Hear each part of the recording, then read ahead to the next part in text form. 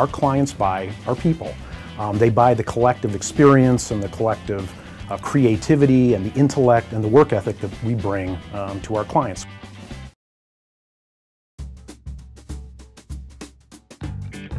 We're a, a large enough firm um, that we have experience, credentials, and can bring great people to the table. Um, but we're small enough that we still care about our clients that way and want to establish uh, a lifetime value of that relationship. So for me, that's kind of where it all starts is you've got people that have that drive and that motivation and the, and the smarts to come along with it. With those types of people, if you put them in the right situations where they've got the opportunity to contribute, to shine, to grow, uh, they're going to take it. And those are the kind of people that we want at West Monroe Partners.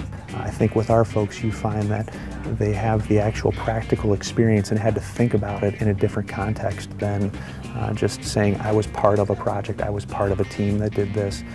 Every client that I work with today, I approach the relationship as a partnership uh, and bringing the folks to the table that are going to treat it that same way for our clients.